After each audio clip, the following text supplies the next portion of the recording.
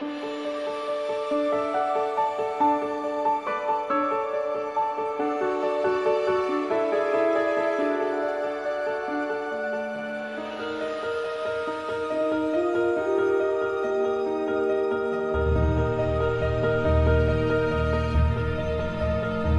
Named one of National Geographic Traveler's 50 Tours of a Lifetime, Trekking for Kids expedition to Everest Base Camp in 2010 gave adventure seekers the chance to walk in the footsteps of the world's foremost mountaineers while helping at risk and orphan children living in the shadows of this iconic mountain range.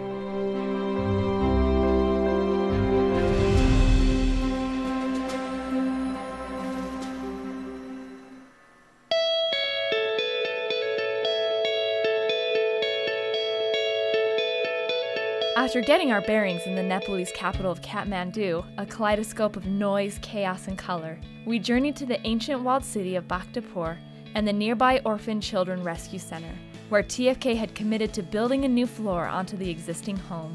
Thanks to the generosity of our donors, the children have an entire new floor with three new bedrooms, a storage room, a study room, three new bathrooms, and a spacious common area.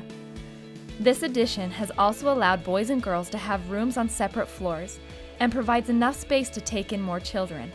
Trekkers presented the children with gifts including backpacks, school supplies, clothing, shoes, and toys. The excitement, it was palpable.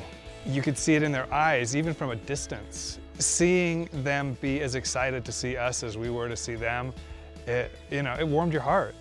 Having surpassed our fundraising goals, we were able to provide other improvements to the facility, including repairs to the outside walls, new carpets, and a luxury not many enjoy in this part of the world a power inverter, so the children can study even with the frequent power outages during the long winter months.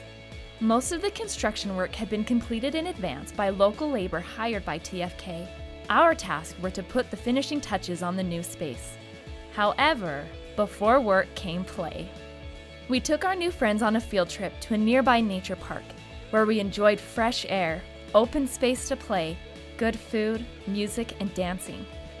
It was a special treat for the children to leave the city and their daily routines and run freely, eat to their heart's content, play, and just be kids.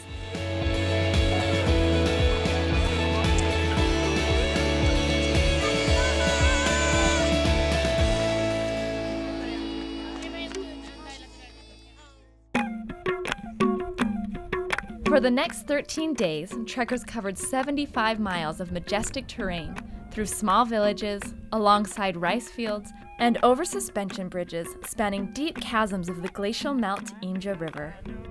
We spent a day in the famous mountain village of Namche Bazaar and celebrated a Buddhist festival at Tengboche Monastery. All the while trekking along the Himalayan giants of Ama Nuptse, and Lhotse, and of course Mount Everest.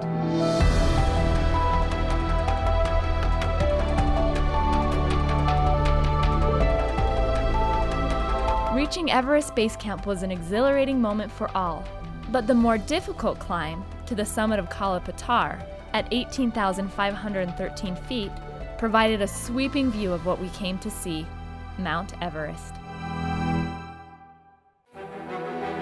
As the sun set, bathing the world's highest peak in a stunning alpine glow, we experienced the thrill of accomplishment, as well as a deep satisfaction, knowing we were also there to change the lives of some very special children. A post trek workday at the orphanage, followed by a party with our new young friends at the OCRC, was the culmination of an unforgettable adventure that truly did change lives, including our own.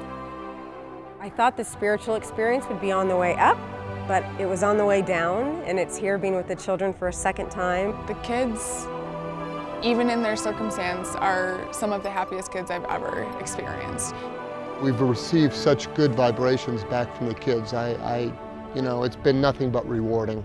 It was really great to actually see where our money was going and see progress. It's, sometimes you donate and it goes in a black hole, but here we got to see a building and we saw the work in progress and we actually saw people working. I thought it was about us giving to them, and they were so generous and kind and gave so much to us.